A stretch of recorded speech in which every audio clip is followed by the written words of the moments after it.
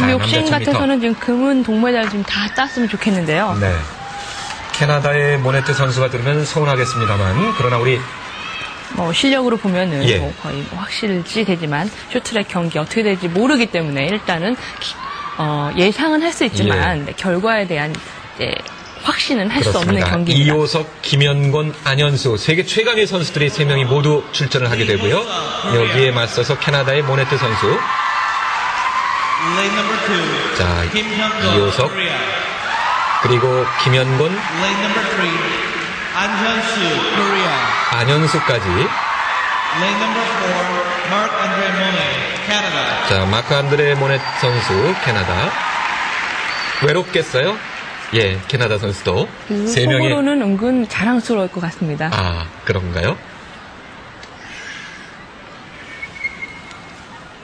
자, 일단 남자 1000m 우리 세 명의 선수들이 좀 사이좋게 질주하면서 캐나다의 모네트 선수를 좀 견제를 하면서 갔으면 좋겠습니다. 네, 지금 정작 우리 선수들은 아마 속으로 상당히 부담을 느끼면서 경기에 임하게 될 것 같은데요. 서로 너무 잘 알다 보니까 네. 아무래도 좀 힘들겠죠? 이호석과 안현수 동료이자 라이벌 아닙니까? 네. 자, 너무도. 비슷한 기량을 가지고 있습니다. 네. 147, 148, 149 우리 한국 선수들 앞서거니 뒤서거니 지금의 선들은 별 의미는 없습니다. 먼저 지금 김현곤이 가장 앞쪽에 가고 있고요.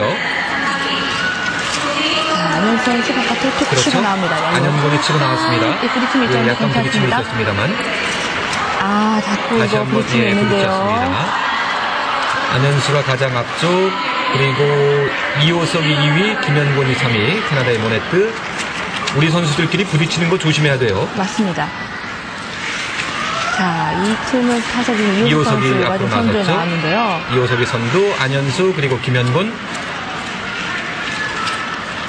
모네트가 바깥쪽에서 기회를 노려봅니다. 자, 스피드 빨라집니다. 그렇죠.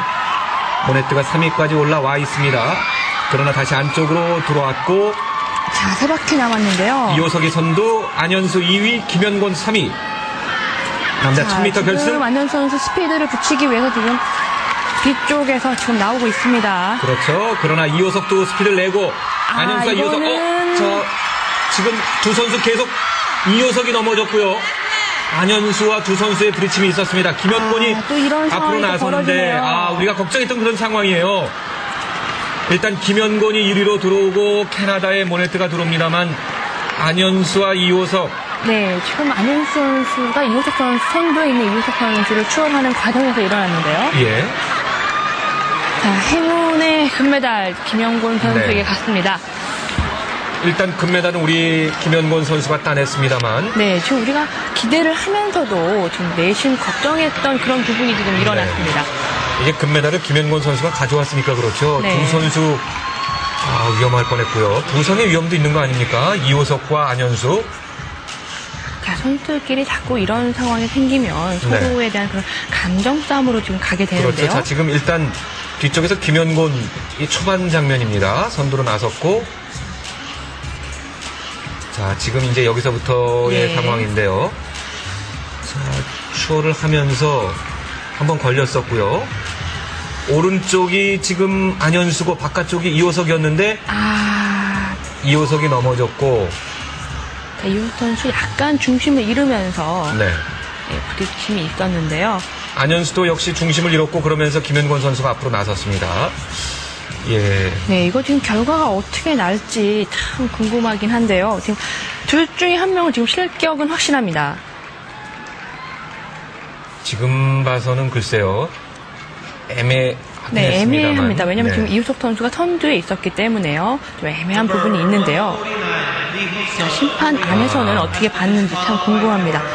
어, 이우석 선수, 선수가 예. 실격인가요? 자, 이렇게 되면은 이제 그렇습니다. 실격 사유가 아무래도 크로스 트랙 뭐 이런 게 아닐까 네. 싶습니다. 안현수 선수가 3위, 이호석 선수가 실격을 당하고 말았습니다.